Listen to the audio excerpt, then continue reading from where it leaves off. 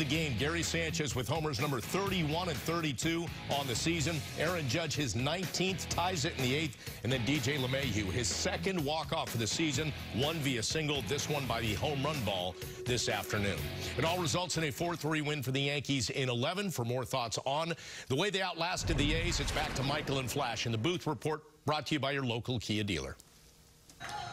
Well, thanks a lot, Bob. The Yankees win games when they hit home runs. They didn't hit home runs yesterday. They hit four today. The walk-off home run by LeMahieu. That's the formula for this team. That's what they're going to have to carry through September and October. Yeah, it really is. And Gary Sanchez with a big afternoon.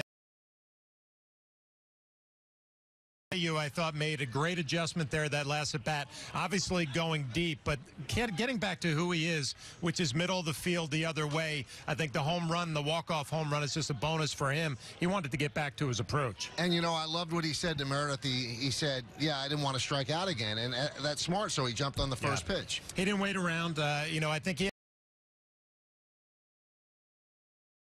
And it's odd to see when he strikes out the way he did this afternoon. But he's been one of the heroes for the Yankees all year, and why should it be any different today? And what a shot by uh, by Aaron Judge. And John mentioned this yesterday. Uh, he really started to turn things around before they went on the West Coast trip, and all of the things that started to happen here at the stadium really accelerated on the West Coast, and he's carried into this series. Yeah, and I think back to last night's game as well, a couple of hits for him where he hit the ball hard, and, and today it's just when he gets a ball out over the plate and he's able to let it travel deep, he's so strong to hit it into the second deck and right field is obviously when he's at his best. Now, there is a chance that these two teams can meet in the postseason. There is a chance they could do it, and, you know, you talked about it earlier in the game these four wins that the A's had before today, they were important for the A's. You also don't want it in the back of the Yankee mind that they couldn't beat the A's, so this was a nice victory for the Yanks. Yeah, and I wouldn't say it, it was really needed, but it's it's a nice win for them because you can kind of think back and say we had a nice walk-off moment. Uh, I think these four games are the first four games of this series,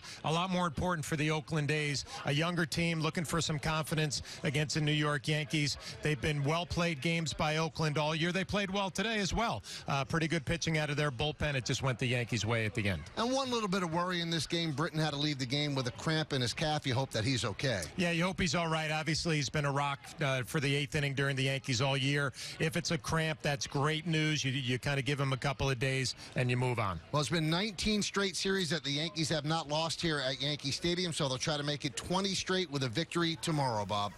All right, fellas, we will